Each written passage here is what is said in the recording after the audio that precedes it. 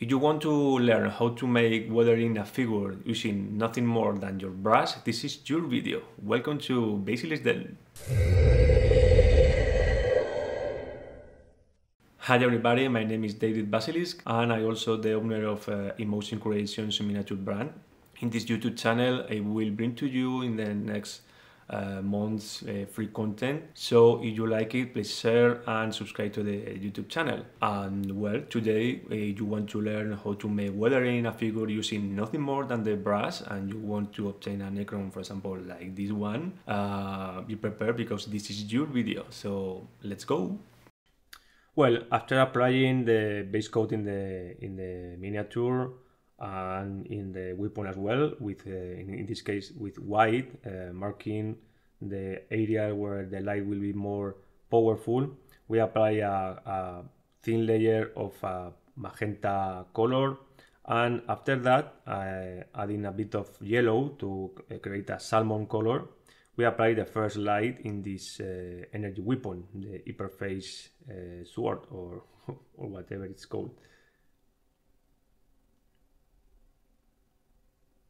Push with several layers in the same area to obtain the gradient and the focus of the light in the in the points that we are interested. In this case, the the curve of the weapon. And now with white, I'm creating a final. Uh, bright of energy in the weapon. The next step is adding black and green. I create a very dark green like or similar to black and with this color I'm creating the shadow or the non-light area of the weapon.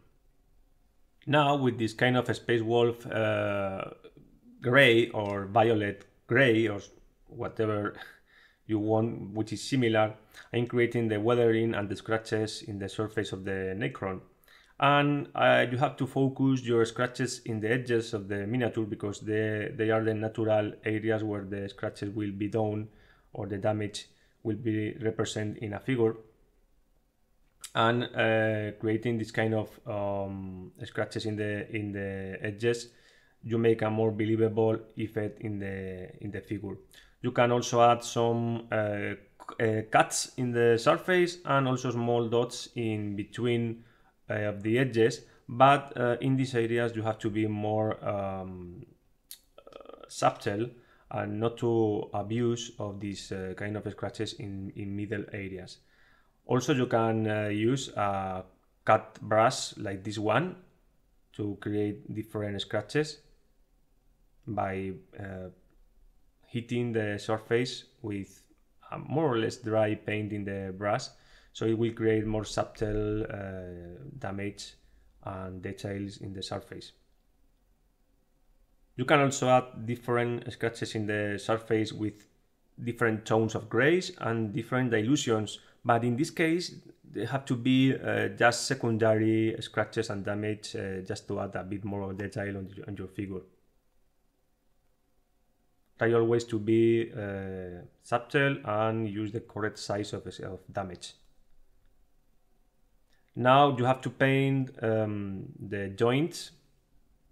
The first layer is a base coat of gray. I'm using exactly the same gray that I have used in the in the scratches.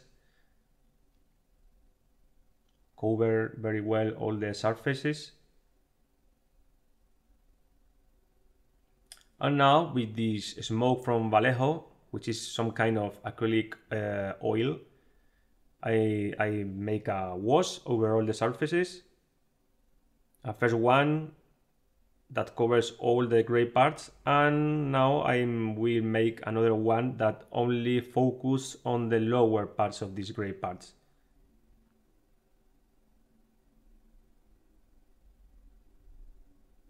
you can see how I'm pushing but uh, with the with the smoke color but only in the lower parts of the joints they will create volumetry and more detail in the figure.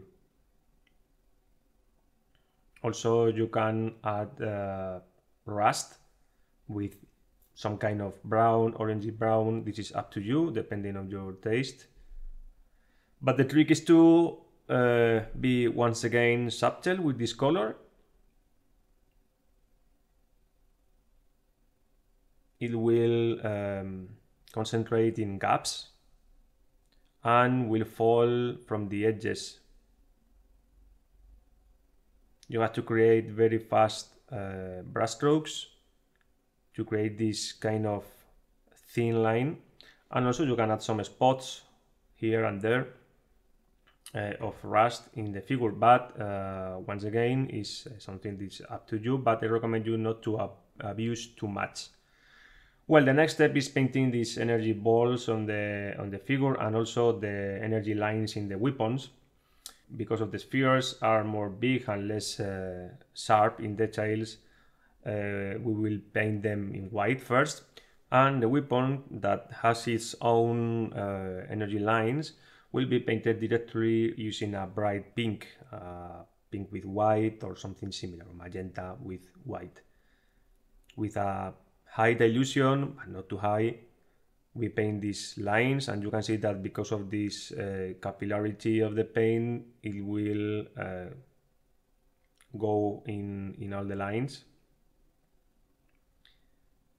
And with this same color we can make a wash over every ball every uh, sphere. And this color will tint somehow the white uh, underneath and also will uh, fill the gap uh, that is surrounding the, the sphere. Now we jump to the ribs. We follow the same process, fill with white in a first stage and later we will wash with pink. You can add some detail in the caps around the balls, surrounding the balls with a more bright pink, but uh, jumping again to the ribs, the process as you see is the same. Uh, first was with pink, more or less bright pink, same with the symbol in the chest, then with some applications more of more brighter pink adding just white to the magenta magenta. And a final detail in the ribs with yeah, at the same in the symbol with more bright magenta to define them a bit more and uh, boost the effect of light. And same process with the energy lines of the weapon adding a bit of more uh, bright magenta to boost the effect of lights, nothing else. This is a detail on the face, this, this is a bit blurry, sorry, but uh, I think it's understandable because it's easy to follow, you, has, uh, you only have to add a white coat first, then a first wash, some kind of wash, it's not exactly a wash, but a control wash, some kind um, of bright pink, pink or bright magenta. And after that sorry for my hair uh, add a bit of magenta over this. We'll add some extra color on the surface and we'll boost the uh, effect of light once again. After that just by pointing a bit more of white to recover the eyes you has the figure complete. Also not don't forget to outline the edges of the weapons. Now we jump to the um, base. Uh, we are adding to a texture past a bit of um, purple ink and black ink to obtain this some kind of violet uh, or dark violet color to the crown.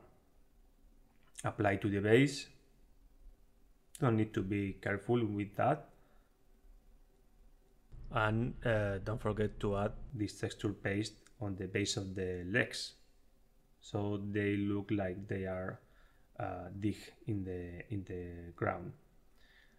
While it's uh, uh, drying we can boost a bit more the edges uh, the weathering on the edges the damage by applying once again the gray to recover some of the outline or to focus on some areas like the face, which is a main area on, on a figure.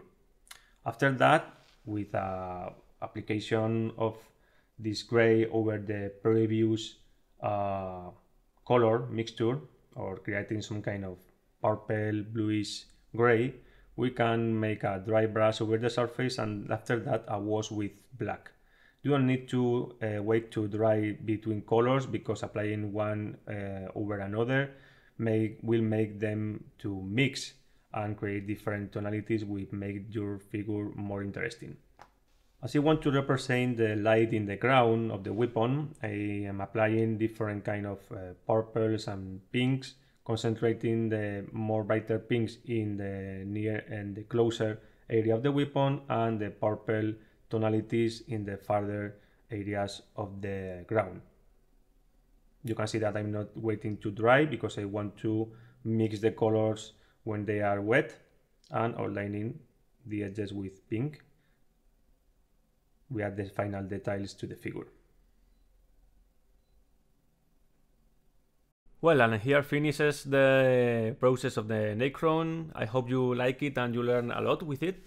And if you uh, paint your own version, remember to tag me in Instagram or your social media. And also to visit the emotioncreation.com website where you can uh, get the, the Brushido, The Way of the Painter number one free digital magazine. Uh, you only have to uh, register in the in the web and you can uh, download it. So I recommend you to take a look because uh, in a near future we are going to collaborate with other painters so I think it's very uh, interesting for you. So thank you for watching and see you in the next videos. Bye bye!